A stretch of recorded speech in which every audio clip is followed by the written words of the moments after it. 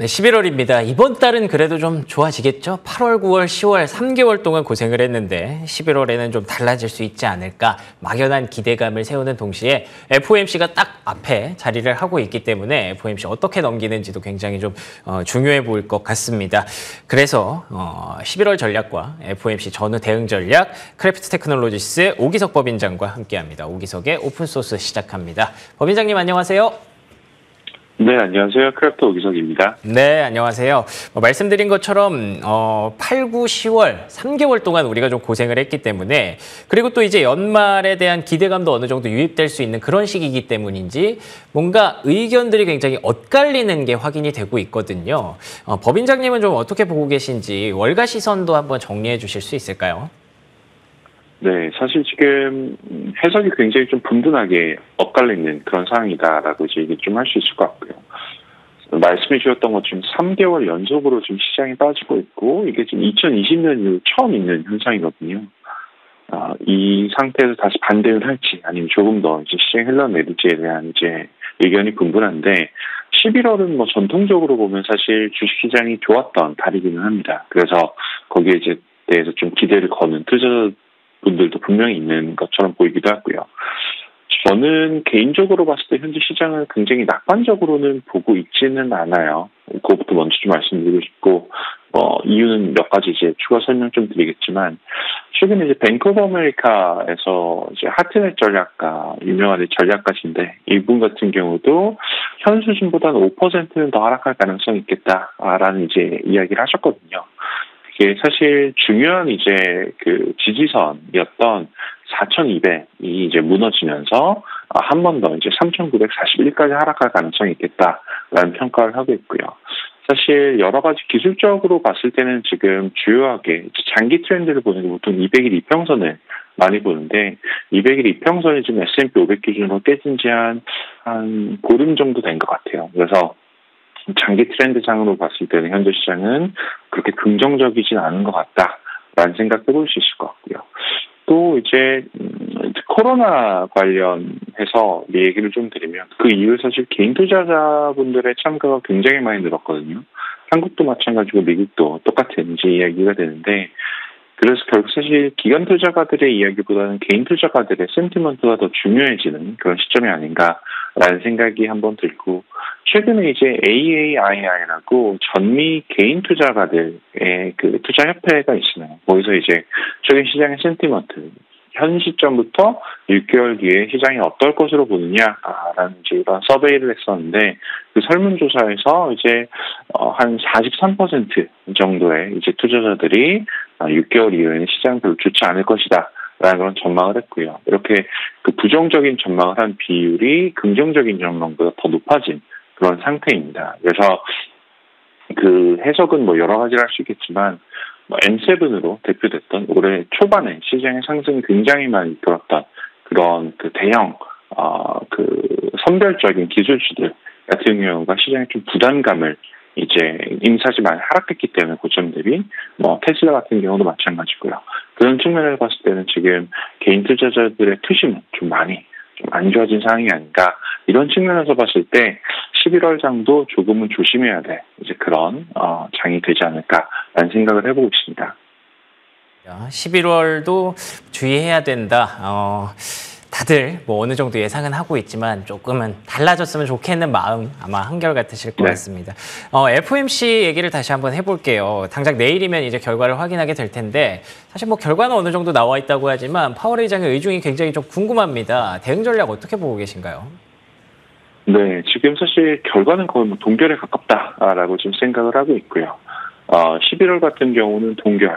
다만 12월 같은 경우는 지금 12월에는 한 차례 인상 가능성 25% 정도로 보고 있어요. 그래서 11월에 동결이 어, 되지 않을 가능성 거의 없다라고 보지만 그거보다는 이제 그 제롬 파울 의장의 발언에 조금 더 집중하는 이제 그런 상황이 되지 않을까라는 생각을 하고 있고요.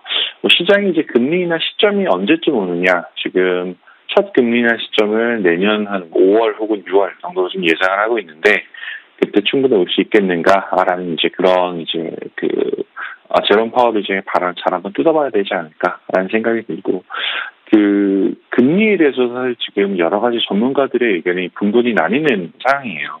일부 전문가들 같은 경우는 너무 많이 올랐다. 그렇기 때문에 빨리 내려야 된다라고 이제 의견을 피력하는 분들도 있는 반면에 뭐 제가 있었던 벵가드 같은 경우는 벵가드의 이제 economist가 어제 발언했던 거는 앞으로 한 많으면 두 차례 혹은 세 차례 정도 더 금리 인상이 있지 않을까라는 이런 지금 이야기도 나오고 있거든요. 그래서 금리에 대한 전망 역시도 지금 전문가별로 굉장히 많이 달라져 있다라는 이야기를 좀 하고 싶고요. 지금 시점에서는 사실 FOMC가 이번에 금리 인상이 거의 안 나온다라는 것으로 이제 멈춰졌다라고 하면 지금 시점에서는 FOMC 발언보다 어떻게 보면 더 중요하게 봐야 되는 것 중에 하나가 이스라엘의 가자지구 공습, 하마스 전쟁이라고 표현되는 지금 어, 이 중동의 리스크 어디까지 확장될 수 있는가에 대해서 사실 조금 더 관심을 가질 필요가 있지 않을까 싶습니다. 현재로서는 지금 이스라엘 가자지구 내로 이제 중심부로 진격하고 있는 상황인데 어, 그 과정에서 주변 이제 이슬람 국가들의 어떤 반발이 있을지를 조금은 이제 그 지켜봐야 될 것 같고 중동 정쟁이 여기서 확전되기를 저는 전혀 바라지 않지만 혹시라도 확전된다라고 할 수 있는 그런 가능성은 현 시장에서 일어날 수 있는 가장 큰 악재 중의 하나다라는 이야기를 좀 드리고 싶습니다. 알겠습니다. 어, 11월에도 계속해서 좀 점검해봐야 되는 그런 악재성 아, 가득한 재료들이 여전히 좀 남아있다는 거 여러분들 다시 한번 일깨워주신 법인장님이셨습니다. 어, 반도체는 좀 어떨까요? 반도체도 사실은 좀 희망을 많이 걸었잖아요. AI라든지 메모리라든지. 근데 맞습니다. 엔비디아 이슈를 보니까 이제 또 수출 물량 제한 이런 것들로 인해서 다시 한번 좀 악재로 돌아서는 느낌인데 어떻게 보고 계십니까? 어, 네. 지난밤에 이제 사실 뭐 미국에서 다시 한 차례 이제 그뭐 제재 관련한 이제 이야기들이 나오면서 약 한 50억 불 규모, 한 6조 원 가까운 이제 그 칩셋들의 중국 수출이 지금 무산된 상태거든요. 그래서 아, 물론 악재기는 한데 뭐 AMD 실적 같은 경우도 발표됐고 AMD가 제가 지금 공부를 한1% 정도 그 시간으로 좀 하락하는 걸로 확인을 하고 있는데 그 엔비디아 위주로 먼저 말씀을 드리면 저는 사실 이번에 그 나온 이제 대중국 수출 제재가 엔비디아의 펀더멘탈에 영향을 미칠 거라고 생각하지는 않아요. 사실 그 물량이 지금 중국에 수출이 안 된다라고 하면 팔 곳이 없느냐? 그건 전혀 아닙니다. 사실 지금 엔비디아 AI 칩셋 같은 경우는 전 세계적으로 대기 수가 워낙 많기 때문에 충분히 소화될 수 있는 물량이라고 생각하거든요. 그게 뭐 중국으로 가느냐, 아니면 아시아로 가느냐, 뭐 미국으로 혹은 뭐 중동으로 가느냐, 시장의 문제 이제 소화될 거라고 분명히 생각은 하고 있고요. 다만 이제 센티먼트로 보면 사실 악재라고 지금 어, 얘기할 수밖에 없는 것 같아요. 왜냐면 지금 엔비디아 주가 같은 경우가 한 510불까지 최고점에서 510불 정도까지 상승했던 게 지금 407불 선으로 좀 내려왔거든요. 고점 대비 한 20% 가까이 하락을 했어요. 그래서 시장에서는 보통 얘기하는 게 10%는 조정 그리고 20% 하락이면 이제 그 아, 갑자기 단어가 생각이 안 20% 하락이면 이제 베어마켓이 진입했다. 아, 약세장에 진입했다라고 얘기를 하는데 지금 그 언저리에 지금 엔비디아가 딱 걸려있는 상태이고 아까도 잠깐 말씀드렸던 기술적 이평선을 보더라도 약 한 370불 정도까지 어, 엔비디아 가격이 하락하게 된다라고 하면 200일 이평선이 깨지는 구간이 돼요. 그래서 지금 407불인데 370불까지 잘 지켜낼 수 있는가라는 그 이제 어, 그 구간이 정말 중요하지 않을까라는 생각을 하고 있습니다. 알겠습니다. 하지만 엔비디아는 아직 한 발 남았거든요. 예, 실적 발표 어, 11월 네. 20일경에 또 발표가 되기 때문에 그때까지 조금 흔들리다가 다시 한번 제자리를 찾아서 또 강력한 실적을 발표하면서 주가가 반등해 주기를 한번 기대해 보도록 하겠습니다. 자 그러면 이렇게 좀 헷갈릴 때 AI의 도움이 좀 필요합니다. AI는 보, 11월 어, 전략 어떻게 보고 있는지 궁금하네요. 네, 11월 전략 저희 사실 11월 전략은 오늘 이제 오버가 돼야 제대로 나오고요. 음. 지금 일주일 전략 먼저 좀 말씀드리면 주간날 전략은 나왔는데 지금 시장의 하락 위험을 예측하는 저희 모델 같은 경우는 이번 주 들어서 사실 좀 많이 올라오기는 했어요. 시장의 위험도를. 지금 뭐 CNN의 Fear and Greed 같은 경우도 이제 위험도를 어, 그, 공포 구간으로 지금 인식을 하고 있고, 저희 모델 같은 경우도 지금, 저, 신호가 지금 39가 지금 나왔는데, 39라고 하면 전체 미국 시장 투자하는 비중 중 39% 정도는 현금으로 가져가는 것도 나쁘지 않겠다라는 그런 시도입니다. 그래서 지난주보다는 현금 비중을 더 많이 올리는 걸 좀 제안을 하고 있는데 뭐 여러 가지 사실 이유는 있어요. 여러 가지 있는데 그 어, 최근에 본다라고 하면 뭐 지정학적 리스크 어, 같은 것도 사실 이제 하나의 변수가 됐고요. 또 두 번째로는 사실 내일 연준의 발언하고도 관계가 될 수가 있는데 지난주에 발표됐던 미국의 GDP라든지 개인 소비 지출 같은 경우가 굉장히 지금 강하게 나오고 있어요. 예상보다 훨씬 더 강한 미국의 경기 성장이 이제 그 나타나고 있기 때문에 이 정도 수준의 아, 고금리를 지금 버티고 있는 건 모습 보이고 있거든요. 그 세부적으로 들어가면 테일러 스위프트 효과냐 아니면 다른 여러 가지 일들이 있냐 뭐 감로들박은 많이 있지만 어쨌든 숫자상으로 보면 미국의 경기가 버티고 있는 모습 보이고 있습니다. 그렇기 때문에 지금 어, 연준에서도 뭐 제 생각으로는 아직은 이제 도비시하게 이제 그 비둘기파적으로는 어, 단기적으로는 바꾸지 않을 것 같다라는 생각을 하고 있고요.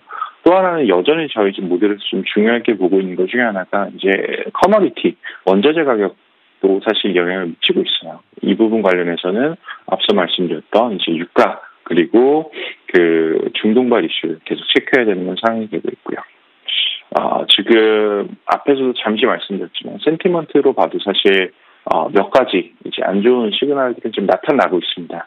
이건 제가 사실 시장을 안 좋게 보는 건 아니고 데이터가 그렇게 나오기 때문에 말씀드릴 수밖에 없는 건데 Magnificent Seven 같은 경우는 일부 종목 지금 베어마켓에 들어왔어요. 테슬라도 사실 마찬가지고요. 그리고 나스닥 같은 경우도 지수만으로 놓고 보면 고점 대비 지금 10% 이상 하락한 상황이거든요. 그래서 조정의 영역에 들어왔다. 라는 건 사실 저희가 투자하는 분들의 입장으로서는 일단 인식은 하고 가셔야 되는 시점이 아닌가라는 생각은 듭니다. 저도 사실 이제 그 3분기 실적 발표, 엔비디아 실적 발표도 남아있고, 나머지 기업들의 실적 발표들이 있기 때문에, 어, 실적이 다시 견인하는 시장의 상승을 기대는 하고 있지만, 현재 그 실적을 제외한 나머지 변수들을 본다라고 하면, 현재 시장은 사실 올 초보다는 이제 그 국면이 그렇게 어, 긍정적이지 않다라는 것도 한번 참고사항 말씀드리고 싶습니다. 알겠습니다. 11월도 막연한 기대감으로 접근하기는 아직은 좀 어려운 모양입니다. FOMC, 어, 엔비디아, 애플 등의 실적이 뭔가 좀 어, 우군이 될 수 있을지 기대해 보도록 하겠습니다. 지금까지 크래프트 테크놀로지스 오기석 법인장과 얘기 나눠봤습니다. 오늘도 좋은 말씀 고맙습니다. 감사합니다.